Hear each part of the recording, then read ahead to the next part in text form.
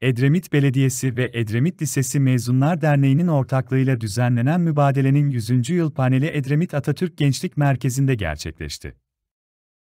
Balıkesir Üniversitesi Edremit Sivil Havacılık Yüksekokulu Müdürü Profesör Doktor Abdullah Soykan'ın moderatörlüğünde gerçekleşen panelde mübadelenin 100 yıl sonraki kültürel etkileri konuşuldu.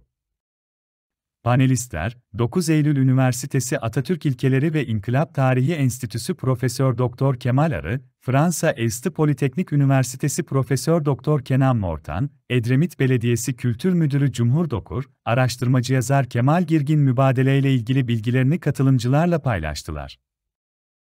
Mübadeleyle gelen ailelerin çocukları ve torunları da interaktif yapılan panelde görüşlerini belirterek etkinlikte emeği geçenlere teşekkür etti. Panelin sonunda panelistlere hediyeleri takdim edildi.